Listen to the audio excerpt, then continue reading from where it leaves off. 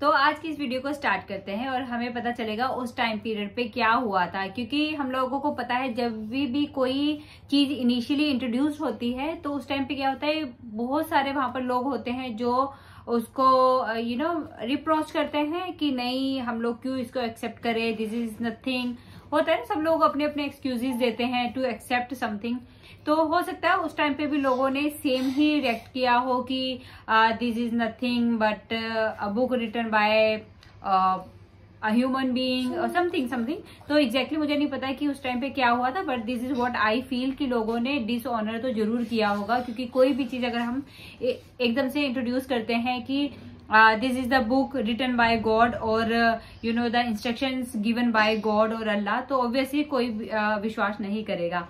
तो इस वीडियो में भी हम लोग देखते हैं कि उस टाइम पे लोगों का क्या रिएक्शन था जब कुरान इंट्रोड्यूस हुआ था। So let's start the video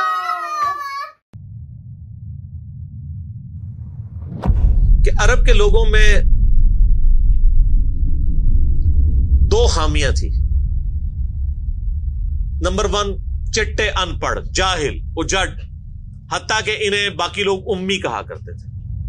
उम्मी मेरे अनपढ़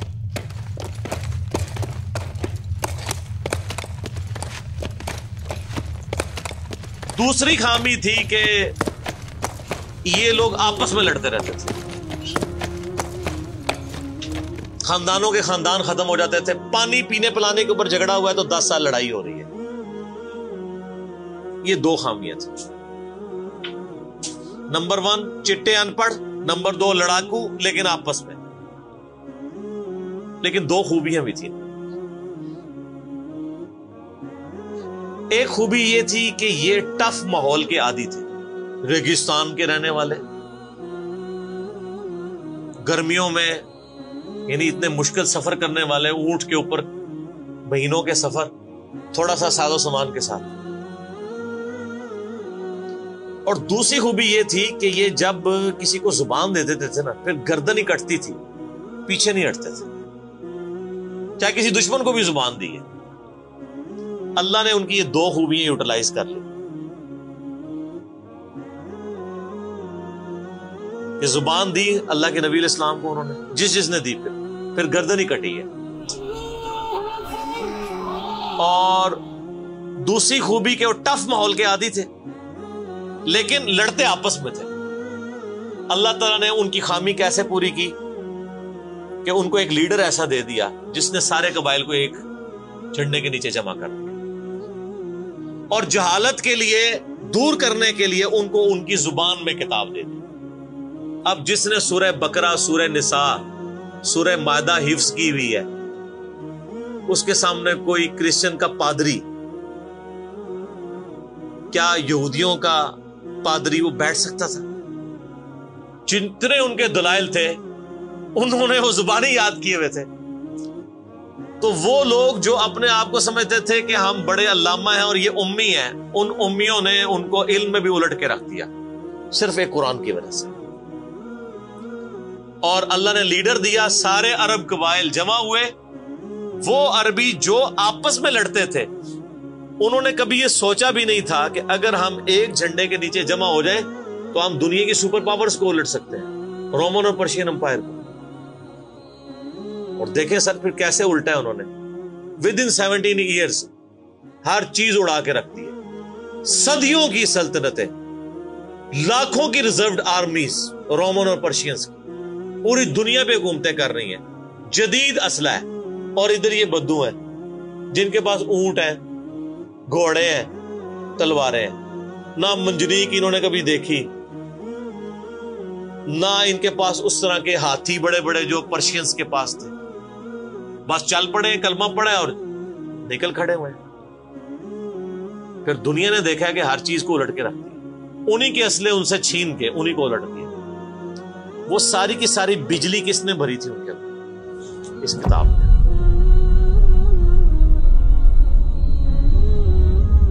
ये किताब थी। किताब पढ़ते थे, ईमान ताज़ा करते थे। जिहाद का क्यों ज़िक्र है इतना कुरान के अंदर?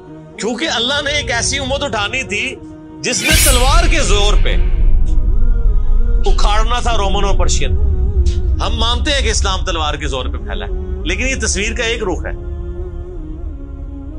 तस्वीर का दूसरा रुख यह है कि जो बदमाश सदियों से दुनिया पे हुक्मरान थे और लोगों की रियाया का इस्तेसाल कर रहे थे अपनी रियाया का, उन पे उन्होंने इतने टैक्सेस लगाए हुए थे। उनको उखाड़ने के लिए क्या मीठी मीठी बातें चाहिए थी? तारक जमीर साहब के लेक्चर्स ने रोमन और पर्शियन अंपायर उखाड़नी थी। ये तो उन लोगों के लिए मुसलमान हो चुके हैं। बदमाश कब अपनी पोस्ट छोड़ते हैं? उनको फिर असले के ज़ोर पे उखाड़ना था। और फिर अल्लाह ने साहब कराम की तलवारें मुसलत की उनके ऊपर। जब उखाड़ दी फ्रीडम ऑफ़ एक्सप्रेशन मिल गया, फिर मामला सीधे हो गए। उस जमाने में बादशाह का दीन रियाया का दीन होता था। अगर कोई रियाया कहे ना कि मैं बादशाह के दीन से अलग होता हूँ कत्ल हो जाता था। आप पता ईसाइत कैसे फैली है? ये तो सारे बुत प्रस्त थे। कॉन्स्टेंटाइन टू जिसके नाम पे कुस्तुनिया शहर था, जो बाद में मुसलमानों ने फतह किया, सुल्तान मोहम्मद फातेह ने। टर्की वालों ने उस पर एक फ़िल्म भी बनाई है, उर्दू डबिंग के साथ है। एक ही नशिस्त में आप देख सकते हैं ढाई तीन घंटे की। जो फ़िल्में देखते हैं उनके लिए, मौलवियों के लिए नहीं। तो उसने वो कुस्तुनिया फतह किया, फिर उसका नाम इस्तंबोल रख दिया। वो कॉन्स्टेंटाइन टू जो था, वो क्रिश्चियन हो गया था।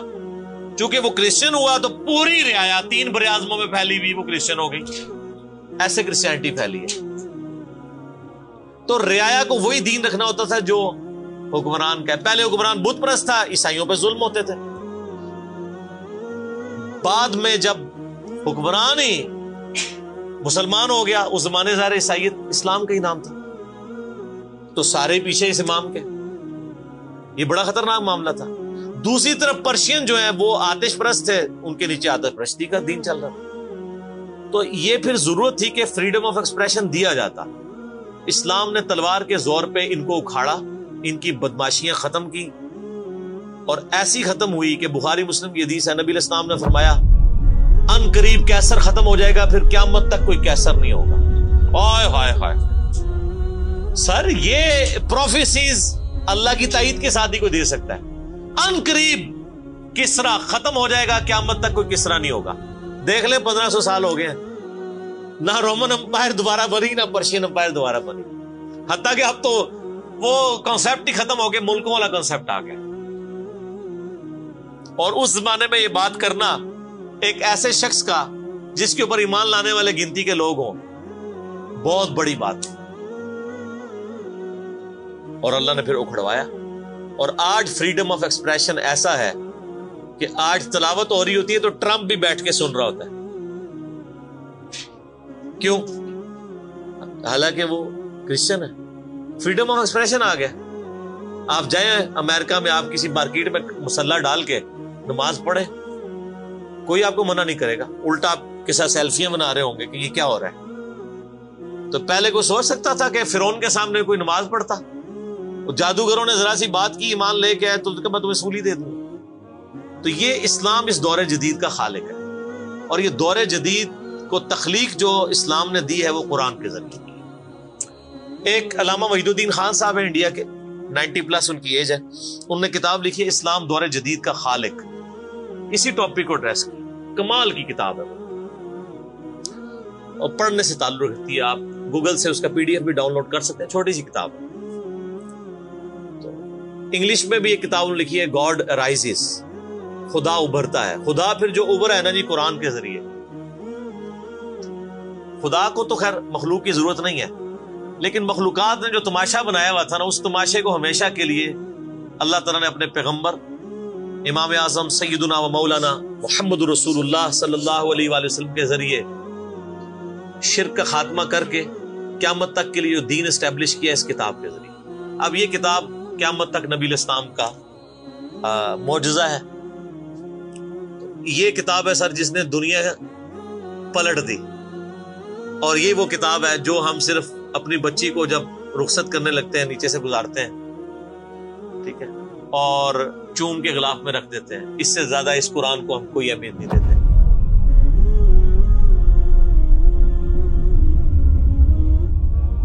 हालाँकि ये कुरान इसलिए नाजल ही नहीं हुआ ये तो हमारी किताब ज़िंदगी है।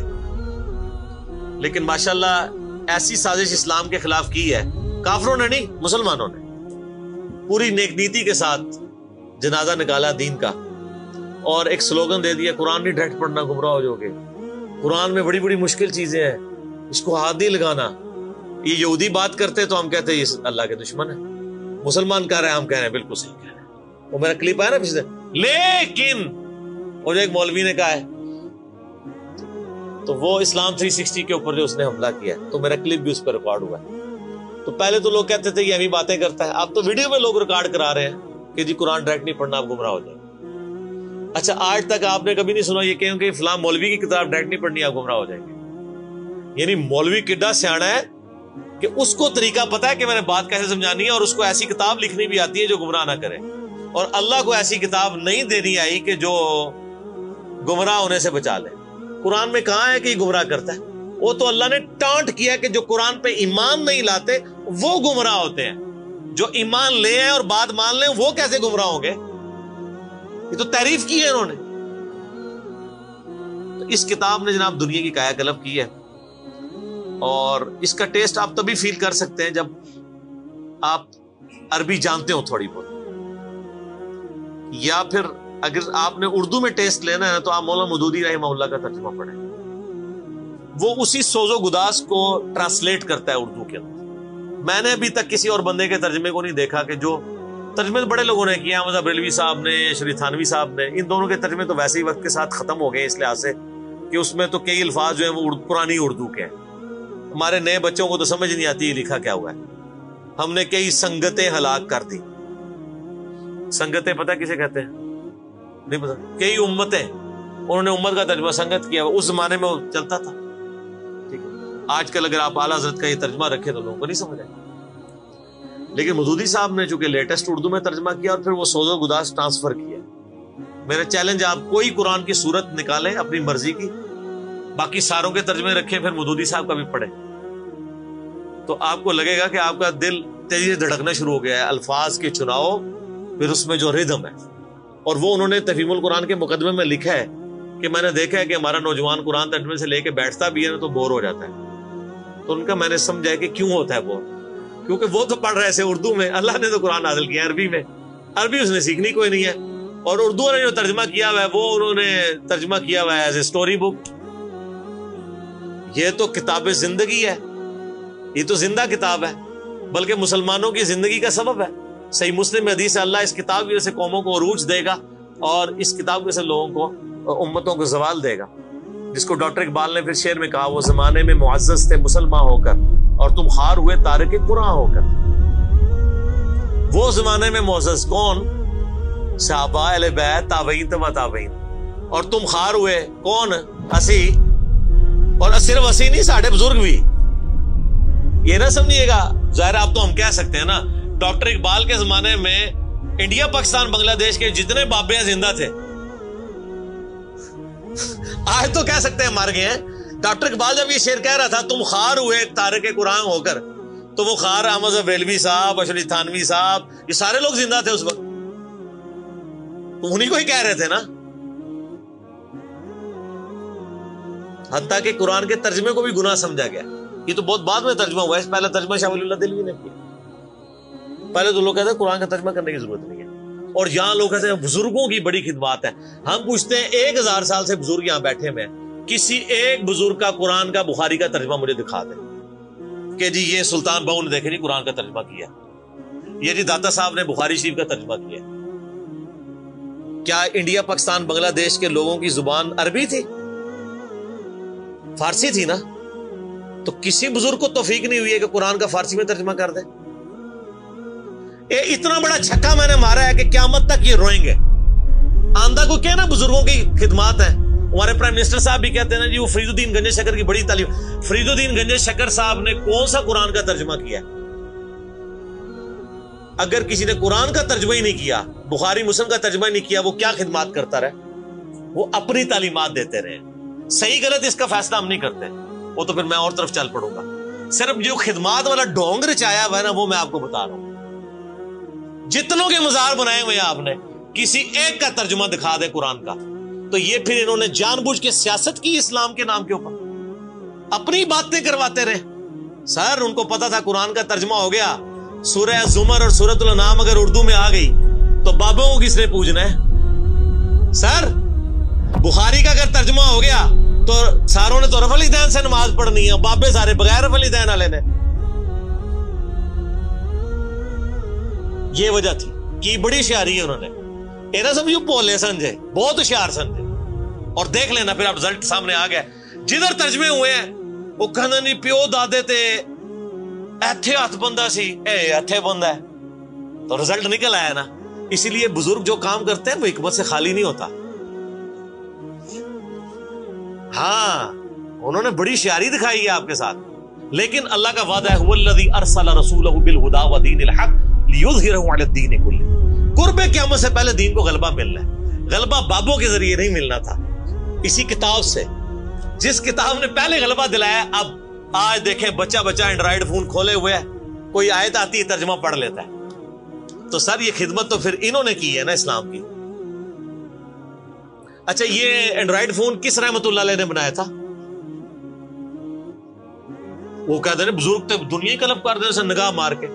वो ले आओ तो ठीपा मोबाइल नीचे चला सकते आप मुझे बताएँ, मैं किसी बुज़ुर्ग को कबर से निकालूं और उसको ये मोबाइल चला चला लेगा?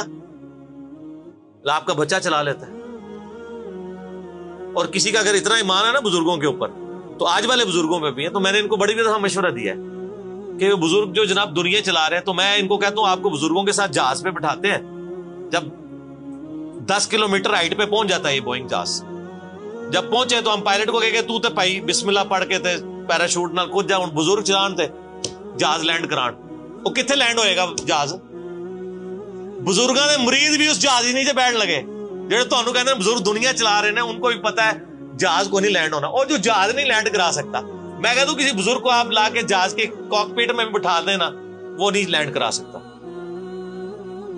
हाँ लैंड कराएगा अगले जहां जाके वो भी वो नहीं कराएगा खुद ही होएगा सब कहानी है।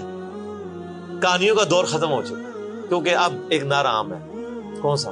कि नाम है वाबी नाम है बाबी, मैं हूँ मुस्लिम, इल्मी किताबी। तो ये इल्मी किताबी जब हम कहते हैं तो वो वो इल्म कौन सा इल्म होता है? वो किताब कौन सी किताब होती है? ये अल्लाह की किताब जिसपे हम बात कर रहे हैं। तो आप देखें मैंने इस पे भी तीस पैंतीस मिनट लग गए अब आप आ जाए सूर्य अन्नबा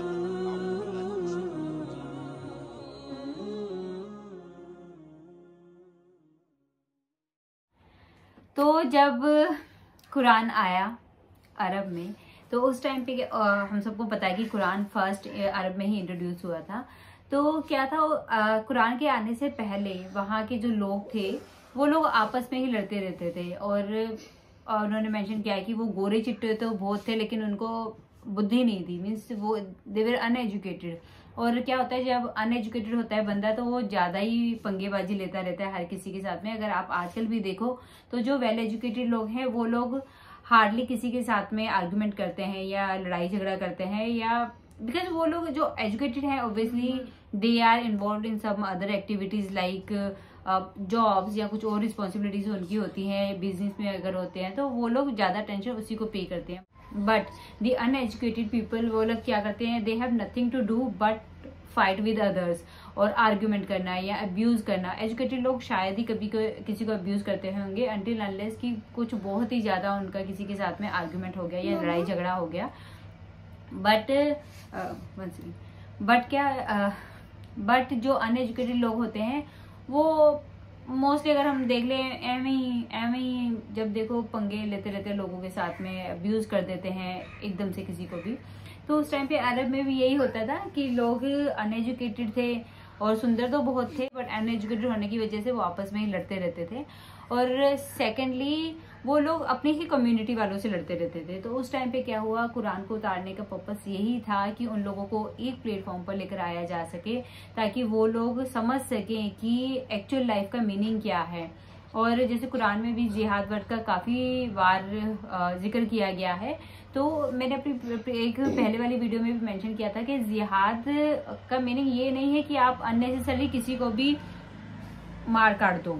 जिहाद का मीनिंग है you have to fight with others but for your own rights कि अगर आपको लगता है कि ये आपके राइट्स के अगेंस्ट कुछ हो रहा है, कोई अननेसेसरी आपके ऊपर अत्याचार कर रहा है तो अपने उन राइट्स को बचाने के लिए आपको जिहाद करना चाहिए। तो यही चीज़ मेंशन की गई है कि उस टाइम पे जो रोमन और पर्शियन थे वो लोगों ने अननेसेसरी लोगों के ऊपर टैक्सेस लगाए हुए थे। Okay. और होता ही है टैक्स तो आजकल भी हम लोगों को जब इनकम टैक्स देना पड़ता है तो सैलरी का एक मोटा पार्ट अच्छा खासा पार्ट एज इनकम टैक्स हम लोगों को गवर्नमेंट को पे करना पड़ता है। और उस टाइम पे तो लोगों की इनकम भी इतनी ही होती थी देवर एक्चुअली वर्किंग हार्ड और उसके बाद में वो पे कर रहे थे। तो उन्हें कुरान के थ्रू ये मैसेज दिया गया कि नहीं, आपस में नहीं लड़ो, अगर लड़ना है तो किसी ऐसी चीज़ के लिए लड़ो जिसके लिए एक्चुअली आपको लड़ना चाहिए। है ना? क्योंकि अननेसेसरी अगर कोई अत्याचार कर रहा है तो उन्होंने क्या किया? उन सबको एक प्लेटफॉर्म पर लेकर आए, उन्हें बताया गया। यू नो कुरान में ये चीज़ मेंशन की गई कि आपको जिहाद करना चाहिए, लेकिन अपने राइट्स के लिए to protect yourself to protect your community तो ये सारी चीज़ें थी। पे इतनी स्ट्रॉन्ग एम्पायर थी। उनको उन्होंने हटा दिया। वहाँ से पावर से हटा दिया। और उसके बाद में पूरे अरब में अगर आज भी हम देखें तो वहाँ पे इस्लामिक जो इस्लाम है उसका झंडा बुलंद है। ना कि किसी और एम्पायर का।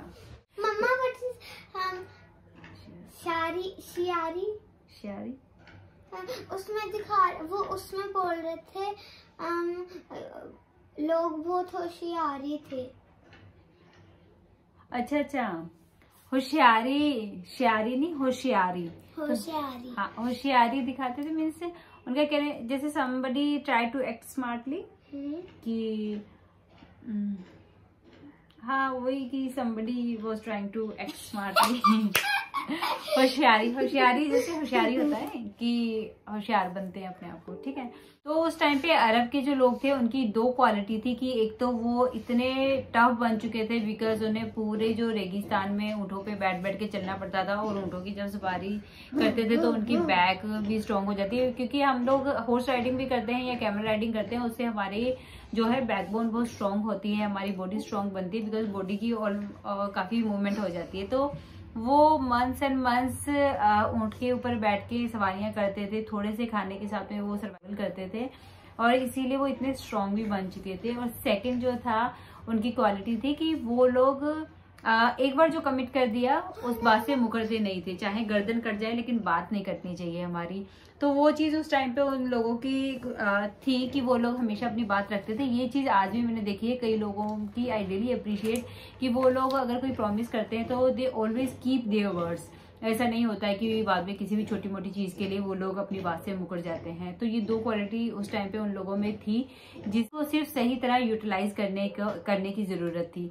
तो उन्होंने क्या किया उन लोगों को एक प्लेटफॉर्म पर लेकर आए उन लोगों को बताया कि आ, क्या इम्पोर्टेंस है कि आप लोगों को कुरान के बारे में पता होना चाहिए और अपने राइट्स के लिए लड़ना चाहिए? तो ये कुरान ही था जो उनके राइट्स के बारे में अवेयरनेस दी और उन लोगों को एक्चुअली बताया कि उनकी क्या स्ट्रेंथ है। उसके बाद में उन लोगों ने देखो, कहते हैं ना, किला फतेह कर लिया।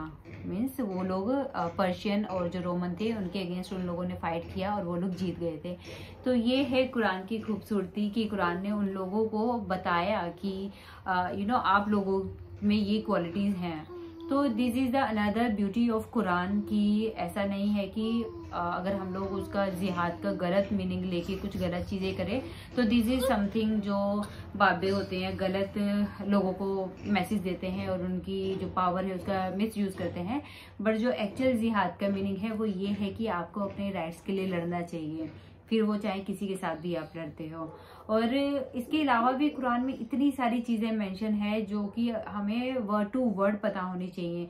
जैसे कि कुरान और हम वाली अगर आप मेरी सीरीज़ देख रहे हो तो उसमें भी नुमान अली साहब ने यही मेंशन किया था कि अगर हम लोगों को एक्चुअल मैसेज पता करना है कि कुरान क्या मैसेज हम लोगों को दे रहा है या अल्लाह का एग्जैक्ट मैसेज क्या है हमारे लिए तो हम लोगों को उनके जो एग्जैक्ट वर्ड हैं उनकी एक्चुअल ट्रांसलेशन पता होनी चाहिए।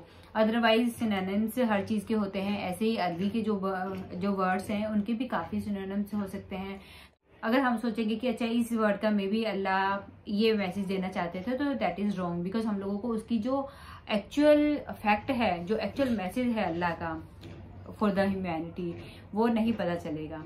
तो एक्चुअल अगर आप लोगों को पता करना है कि कुरान में क्या हमारे लिए मैसेज है तो please write in the comment नहीं।